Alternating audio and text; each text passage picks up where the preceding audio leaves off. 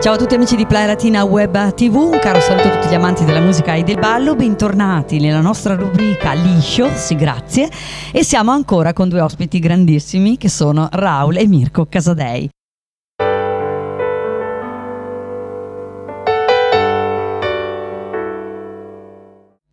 E io questa puntata la vorrei dedicare proprio ad un argomento che sottolineo fin dall'inizio. Ovviamente è un mio parere, però eh, secondo me eh, Raul ha avuto il pregio di trasformare una musica che era prettamente popolare, quindi di zona, di nicchia, trasformarla in una musica conosciuta in tutto il mondo. E, mh, mm, Raul, eh, mm, com'è stata questa evoluzione? Mh, mm, le scelte, le difficoltà, eh, le idee, eh, com'è stato questo processo? L'Orchestra Casadei ha portato in giro uh, per l'Italia, in giro per il mondo, sempre questa voglia di ballare, voglia di essere felici, voglia di essere positivi, di essere solari e la gente ci amava. Tant'è vero, siccome noi parlavamo sempre delle nostre canzoni, Ciao mare, T'aspetto Cesenatico, Ritorno a Rimini, parlavamo sempre della riviera, la gente affollava sempre di più sulla nostra spiaggia.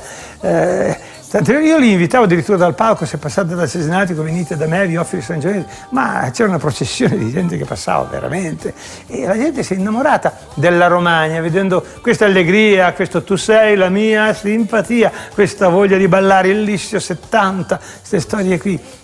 Tant'è vero che giornalisti famosi, tipo Sergio Zauri, che tutti conoscete, eh, Sergio Zauri per esempio ha scritto che Raul Casadei ha fatto più pubblicità più promozione, ha contribuito di più al turismo uh, della nostra terra, più addirittura di personaggi mondiali tipo Fellini e, e tanti altri grandiosi che però magari sono, meno, sono, stati meno nazionali popolari e meno trascinanti, ma pur importanti. io sono orgoglioso di aver dato alla nostra riviera eh, una bella spinta, di aver portato tanta gente che si è innamorata della Romagna, dei romagnoli e della nostra spiaggia. Io sono un po' arrabbiato, oserei dire incazzato con eh, gli addetti ai lavori che non prendono in vera considerazione questo ballo nazionale popolare che è conosciuto un po' in tutto il mondo.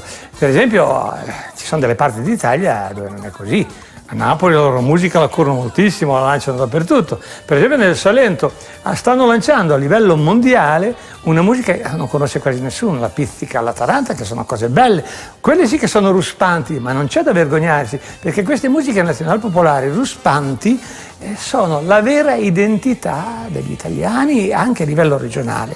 Quindi amici, datevi una mossa, noi vogliamo portare il ballo italiano in tutto il mondo. Mirko, la tua idea al riguardo. Appena entrato nell'orchestra Casadei ho subito avuto un obiettivo, quello di portare la musica oltre confine, fuori dall'Italia. Raul non l'ha mai fatto per paura di prendere l'aereo, nonostante le grandi proposte che ha avuto negli anni 70. Io invece ho cercato in tutti i modi di portare questa musica, questa tradizione e oltre confine. Ma questa evoluzione che c'è stata si è riferita unicamente al modo di proporre l'orchestra o è stato proprio un cambio di sonorità, anche di introduzione di nuova strumentazione all'interno della band? Band, dell'orchestra stessa. Raul.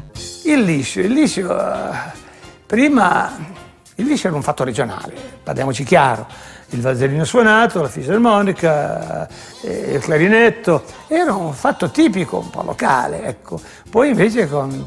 Eh, anche se aveva preso poi in giro per tutta Italia con successo, però siccome è scoppiato in riviera il turismo, io sono, mi sono trasformato, evoluto anche per voglia di evoluzione, perché ogni artista dentro di sé ha voglia di andare avanti, non si può fermare come un disco rotto a ripetere sempre la stessa frase. Ecco, io amavo la musica solare, poi ho sentito eh, Bob Marley con la vera musica solare che eh, quella giamaicana così. E ho ideato questa parola musica solare, fra l'altro è una parola che è rimasta nel cuore della gente e oggi si usa tantissimo anche per la musica italiana. Per esempio si dice che Pino Daniele faccia la musica solare, cioè, non la mia, no, no, perché solare vuol dire spiaggia, riviera, estate. E io ne, assieme al clarinetto, sax, alla batteria ho, ho, messo a giocare chitarre mediterranee, le chitarre che sanno tanto di, di Spagna, eh, di Andalusia, queste chitarre Grecia, ecco, eh, mandolini, suoni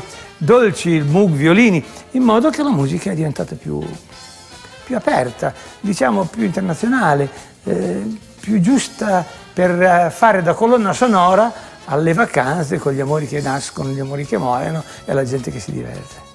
Mirko, Parliamo quindi di tradizione mantenuta, salvaguardata, ma anche di introduzione all'innovazione, a contaminazioni, per far sì che questa musica fosse sempre fresca e sempre alla portata mh, di tutti gli ascoltatori. Ehm, che cosa ne pensi? Tradizione e innovazione è la mia parola d'ordine e penso che sia stata la parola d'ordine sempre dell'Orchestra Casadei, da secondo a Raul e io in qualche modo ho così preso questo messaggio di rinnovamento. 80 anni di storia si possono fare solo attraverso un rinnovamento nel tempo. Il pop folk è la mia musica, la mia musica vuole attingere eh, dal folk, eh, dalla musica tradizionale, ma con un messaggio e delle sonorità molto più vicine al pop, per questo pop folk. Questa volta mh, l'ultima domanda la faccio a Mirko perché vorrei continuare a parlare appunto delle innovazioni che ci sono state e vorrei parlare anche della parola contaminazione. Ne ho sempre sentito parlare, in realtà eh, la musica dell'orchestra Casadei è sempre stata piacevolmente contaminata da tanti gruppi davvero importanti che comunque eh, l'hanno resa più vicina a varie generazioni.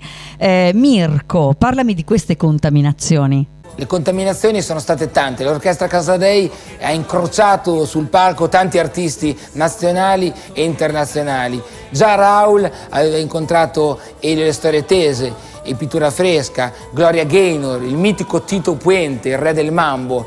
Io eh, ho avuto delle belle esperienze, eh, sono nate belle amicizie sul palco con Kid Creole and the Coconut, Mario Reyes dei Gypsy King e poi una bellissima esperienza con il mitico Claudio Baglioni, lui ha cantato tutte le nostre canzoni e, e altri successi degli anni 70, insomma è un bel modo di comunicare e di fare conoscere a più gente la nostra musica.